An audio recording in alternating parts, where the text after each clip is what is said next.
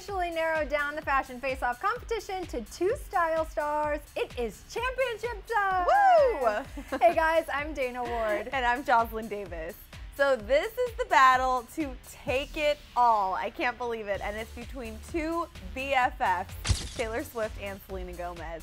So let's take a look now at the last round and who these two stars beat out to make it all the way here to the final matchup. So the final four started off with a head-to-head -head between Kristen Stewart and Selena Gomez. It was definitely a close call with a ton of fans speaking out about their excitement or disappointment that Selena took the win. We definitely got to give Kristen props for her cool everyday style and her ability to go couture when needed, but in the end, Selena did win out. Mm -hmm. And then it was Taylor Swift versus Vanessa Hudgens. And since these two stars have very different personal styles, the votes were very split and also very passionate for one fashion sense or the other. But it was Taylor's more classic clothing that won out over Vanessa's more eclectic choices. And there were tons of comments about viewers wanting all of Vanessa's accessories. I think one of them was for me. And me too. so again, you guys, this next round will feature Selena Gomez against Taylor Swift.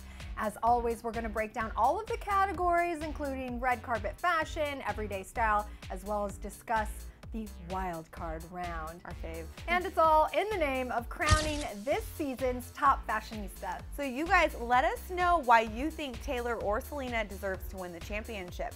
Why does your favorite fashionista stand out in the style department?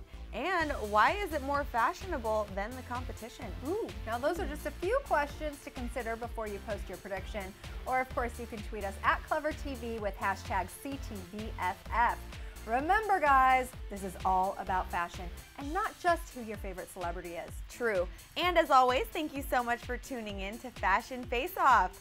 I'm Joslyn Davis with Dana Ward and we'll see you later. Bye guys.